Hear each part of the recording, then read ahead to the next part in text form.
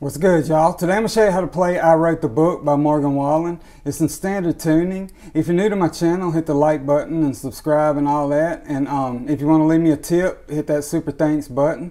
Grab your guitar and I'll show you how to play it. Alright, y'all, this song's unreleased and there's a lot of effects going on with the guitar and everything, but um, I thought y'all might want to know how to play it until it comes out. So um, I'm going to show y'all how to play it until it comes out, just, you know, the rhythm part or whatever. But there's only two chords you're going to need, a D, 0, 0, 0, 2, 3, 2. But you can keep that first string open, it sounds better. And a G, 3, 2, 0, 0, 3, 3. All right, and um, you're going to be going like,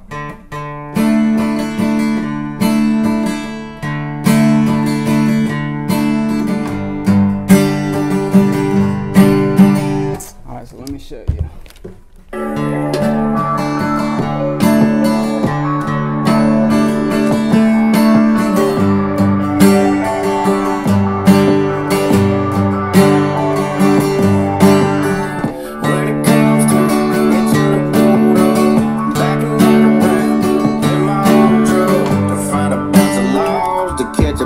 Anyway, you get the idea. It's just D and G back and forth, and you're just going to hit the bass note like. All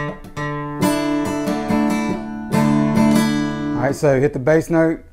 Down, down, down, down, up, down, up, down, down, down, up. All right, and try to hit that bass note like, like.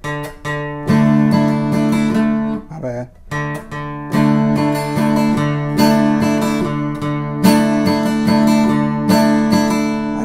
On the D, and do the same thing on the G.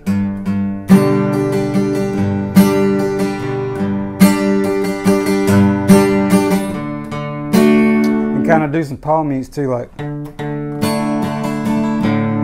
I keep messing up, but you know what I'm trying to do. House, yeah, I wrote the book, yeah, I wrote the book.